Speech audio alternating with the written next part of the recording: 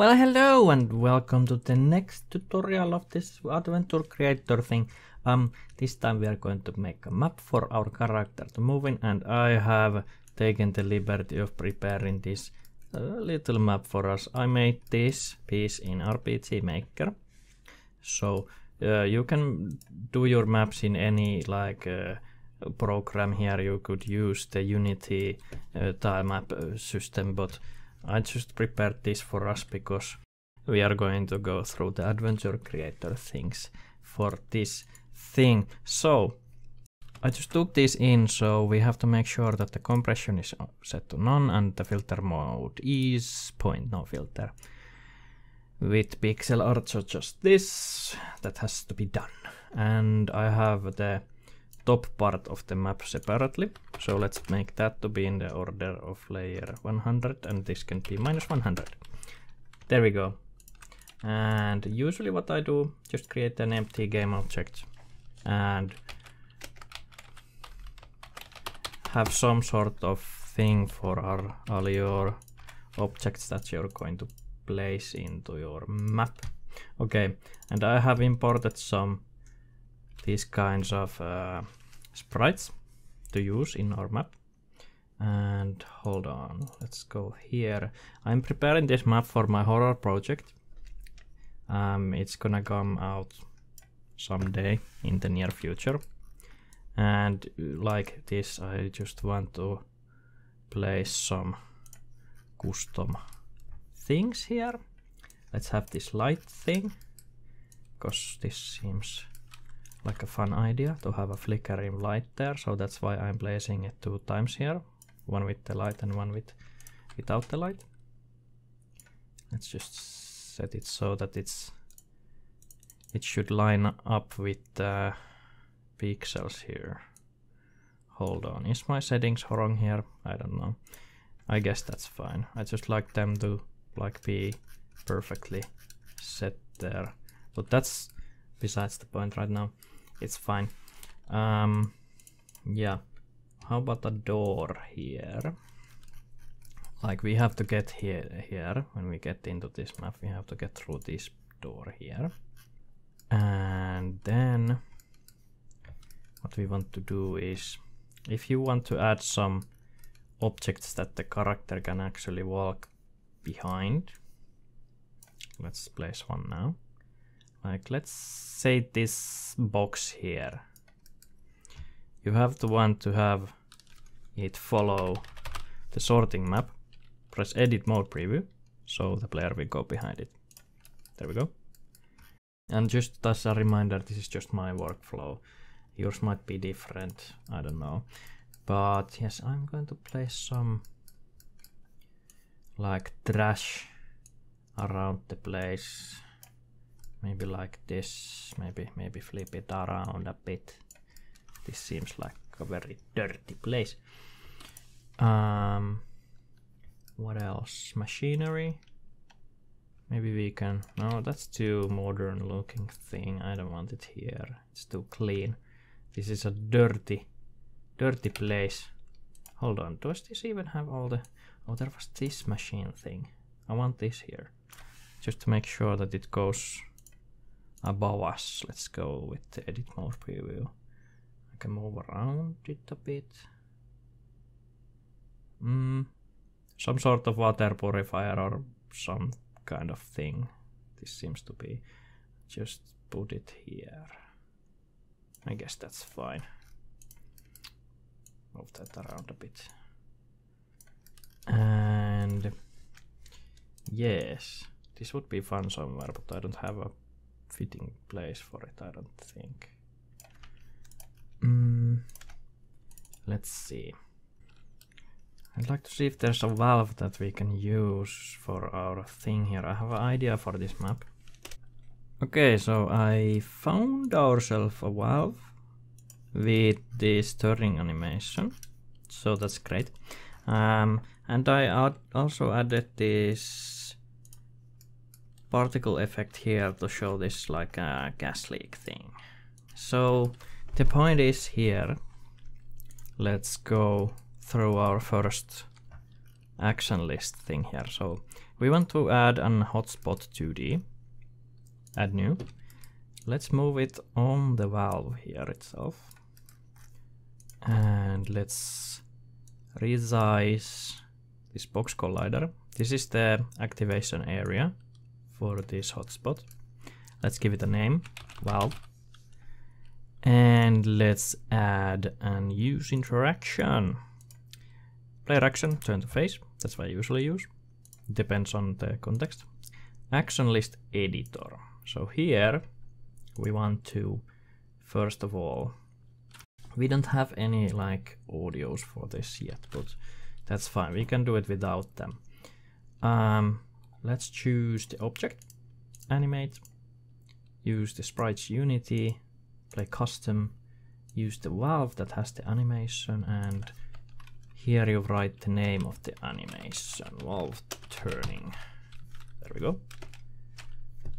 And then I guess we wait for like two seconds or so. Then we can return it to valve idle and at the same time we can choose object teleport and we have the gas leak here. Just remove it out of the map. It would be fun to make it like smaller first. So let's see if we can do that. I think it's possible because there's a transform if we want to transform an object, it has to be, have the movable, movable script. Now we can put it here and we translate to, no, we don't translate, we scale. I think this will do transition time like the same two seconds. Stop existing transforms value. Just transform it to zero. Hmm, I wonder if this will do. And then once it's done we teleport the gas leak out of the map. And we also have to add should we go with a trigger? I think that'll do. Let's add a trigger. And when we place the trigger here on the gas let's make it smaller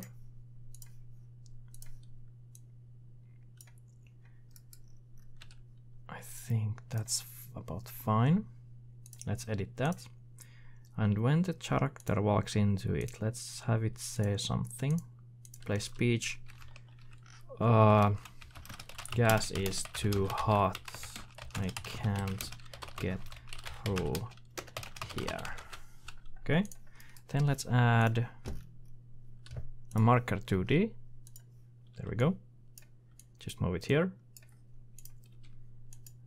move the character, move the point, is player, select your marker that you just placed. Don't use pathfind if you're not using the pathfind thing, it will automatically just walk, walk to this uh, pathfinding like nav mesh, but we're not using it, so let's not use that. Wait until finish, and that should do. And then in the same hotspot that we made, all the interactions go into this subfolder here. And in this same thing we can add make the trigger disappear. Move it also to the off-screen marker. And once that's done, we can get through here. Let's see if it works. Okay, this is our little... Oh, I haven't added any like colliders yet. let's just test if this works. Gas is too hot, I can't get through here.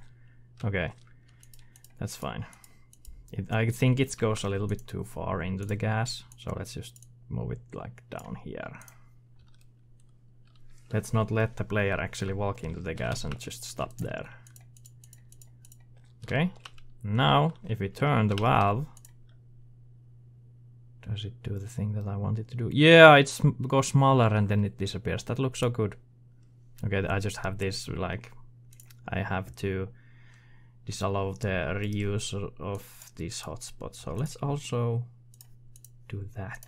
So teleport the hotspot to the off-screen marker. I'm teleporting this out of the screen. That's what the 2D tutorial for the adventure creator did, the official tutorial, and that's what I'm doing. I think if we would delete everything, it could cause some problems in saving and stuff like that. Maybe I'm not entirely sure, but that's what we're doing. Okay, um, but I'd like to have the effect like we turn like for a half a second and then it starts going down. Let's not wait the full two seconds and then yeah. Okay and while we're here let's go into the collision groups. Let's add an empty game object it's in the center. Physics 2d make an edge collider just move it to the edges of where you want to allow the player to move to. I'd rather use the edge collider instead of just box colliders because they uh, block the interactions. I'd have to, if I used those box colliders and such, I'd have to make sure that every single collider had the, their layer to be different. So I don't have time for that, so let's not do that. Okay, make sure we can't get into the water. And move it here and here, and let's do a little bit of block that thing here.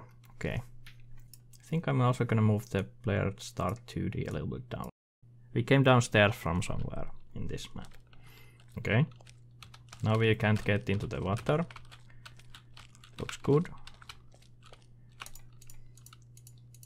It says it about the gas. If we go close enough. Yeah, we can get through here. Okay. Then we start turning the valve. Oh, yeah, I need to add so that the valve is actually turning all this time. So let's move this idle sprite to the end. There we go. Okay, save, play. Then let's see. Let's start turning the valve. It goes down and there we go. It stopped. That's perfect. I could add a little bit more of Hatta Collider there and here also, so we can't get too close to these things. But now we're free to move on. And that's like the tutorial for this thing. I mean, we created like our first map here to move in. That's like, I didn't cover that too much because that's like, uh, it doesn't really matter what kind of map you do. I wanted to more focus on the, the adventure creator part of this tutorial, so I like. We will probably later on we will go more into depth with action lists. There's just so many of these here, so we can't cover these all in one video, but this was the most basic like action list thing. We use these node things and just make different things happen. And I think this effect looks pretty cool, and I think I'm gonna add this to my horror game, this part. So it's quite fun. But anyway, thanks for watching and I will see you next time.